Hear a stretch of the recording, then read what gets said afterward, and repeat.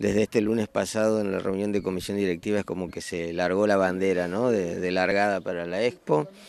Eh, ya este, definiendo varios puntos, eh, sobre todo respecto a la parte ganadera, ¿no? Estamos este, trabajando intensamente en ese sentido porque, bueno, es, eh, hay una problemática a nivel país con el tema de la vaca de cría, tenemos alguna situación un poquito compleja, digamos, con, todo esto del comercio internacional, lo que es el mercado chino y, está afectando un poquito a la categoría de vaca. No, no ocurrió, eh, gracias a Dios, en lo que fue esta campaña de vacunación de aftosa en nuestro, en nuestro ente de vacunación. Nosotros sostuvimos el de vaca y aumentamos un poquito el lector de vaquillonas. Bueno, pero eso impacta directo en la cantidad de toros, ¿no es cierto?, que vamos a traer en la, muestra porque hay que diagramar para no saturar la muestra y un poquito también estamos estudiando ya este, con la jura de admisión la posibilidad de algunos cambios técnicos para, para llevarla a cabo y adelante y ser más eficiente cada vez mejores digamos a la hora de analizar los toros antes de entrar a la muestra. ¿no?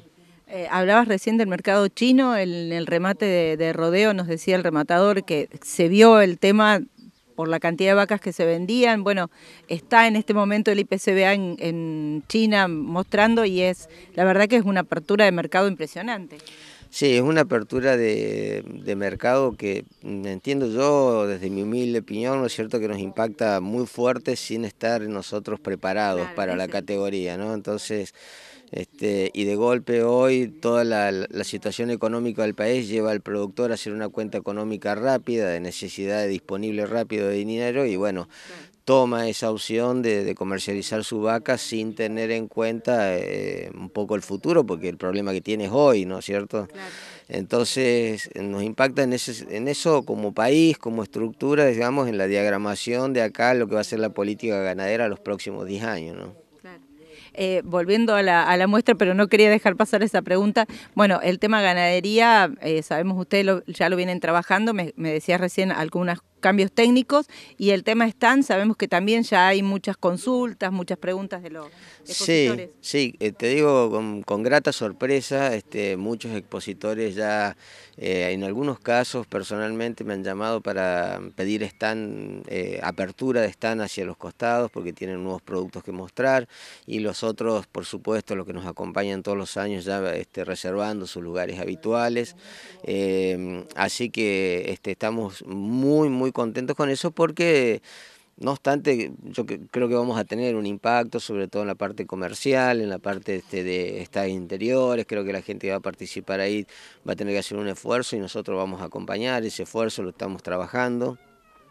Se va a notar este año que el año pasado habíamos dicho que probablemente cerremos el, con aberturas este, el paseo de compras no lo vamos a lograr, digamos, este, vamos en una inversión que la vamos a dejar para cuando se estabilice un poco, el mercado del aluminio estuvo un poco movido, así que está un poco caro, pero, pero bueno, eh, como siempre, preparar la muestra lo mejor que se pueda para, para toda la, la, región y definiendo ya también la parte de espectáculos, ¿no? Este, este, en eso estamos trabajando intensamente con los dos productores que nos mueven los espectáculos y yo te diría que la semana que viene yo creo que ya va a estar definido, pero bueno, necesitamos un par de cotizaciones antes de tomar la decisión.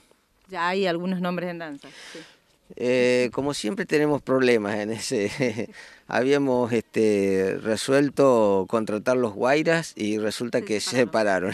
Así que este, eso nos hizo un movimiento, estamos ajenos, digamos, a la parte de espectáculos y bueno, cuando tomamos la decisión y las consultas respecto de eso, bueno, resulta que se separaron. Así que ahí es donde retomamos otra vez con los productores, como te digo, uno de ellos es Marcos Gauna, el líder de los, de los caldenes, así que nos está tirando alternativas y opciones, y el señor Puig de Río Cuarto también, así que estamos, yo creo que la semana que viene lo vamos a definir.